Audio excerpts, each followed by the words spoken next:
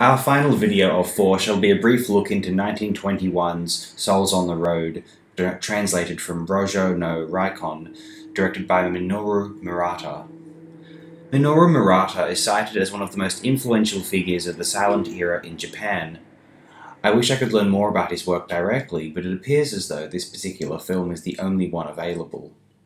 Much of Murata's filmography is said to be lost, which breaks my heart. This film is not a direct adaptation of Gorky's The Lower Depths, rather, it incorporates a narrative inspired by it as one of multiple within its wider framework. Possibly, probably, inspired by D.W. Griffith. If Murata had seen the work of Victor Sjöström, that would have been an influence also, I assume. Another literary source which supposedly influenced the film's mythological narrative was a German novel Mutter Landstrasse Das Ende einer Jugend by Wilhelm August Schmidtbonn. There are four primary stories contained within Souls of the Road. The major narrative seems to be that of the once celebrated violinist, embarrassed and disgraced after making errors during performances, who returns home to see his family accompanied by his wife and his daughter. Meanwhile, two escaped convicts are hiding out in the woods. A young woodcutter attempts to gain his master's, the violinist's father, approval, and a wealthy young woman's enthusiasm for Christmas is explored. The violinist is rejected by his father, though receives sympathy from his former fiancée. The woodcutter crosses paths with the young lady and is invited to a passionate Christmas party. She wants everyone, regardless of wealth, to share in her enjoyment. I was very moved and impressed by this film. I suppose we can refer to this film as Griffithian in its cinematic composition. Narratively, it reminds me of Victor Sjöström more than anything, although there are more intimate dramas of this sort from Griffith as well. This film is bookended with a quote attributed to Maxim Gorky advocating peace, love, and Jesus Christ. I can get behind that.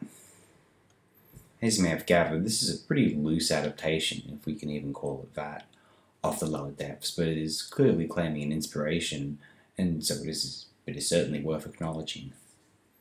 The overall tone is far more optimistic than that of the play.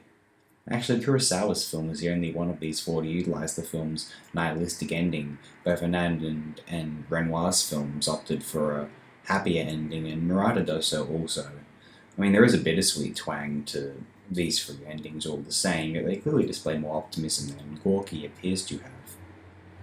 Now, I'd just like to briefly say a few words on this film's composition in relation to the other three films we have previously discussed.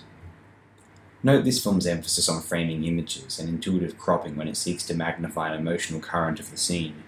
An early cinema, as early cinema pioneers were discovering, their technology was well suited when it came to composing dynamic moving picture slideshows. Technology in 1921 cannot accommodate the couldn't accommodate the comparative cinematographic sophistication of Renoir's 1936 production, although it is apparent that Murata had a very clear vision of what the new medium was capable of in its then current form, as a series of evocative dramatic images which he as the artist could manipulate the emotional vector of. An extremely considered dramatic film production for 1921, I highly recommend viewing Souls on the Road.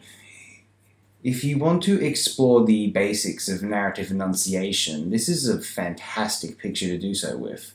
Obviously, these are the bare bones, but in a sense, if one was to start making films even now, they would probably find it useful to compose a film in this manner, and then work their way intuitively through the further capabilities of camera technology, as directors had throughout history, have throughout history, until one has attained a confidence at how to illustrate a narrative as a filmmaker. Watch films, make films, wonder why your films don't look like their films, and work on that. So that closes our exploration of the lower depths adaptations, or films inspired by the lower depths, perhaps that might be more accurate. I had a lot of fun doing this. It was delightfully insightful to go backwards over 40 years of cinematic narrative composition. Very nice indeed. I have linked in the description free web, resources which I found useful in clarifying elements of this film's narrative, and they are good pieces in general, so do give them a click. But more importantly, do watch this film. Well, that's all. Have a great one.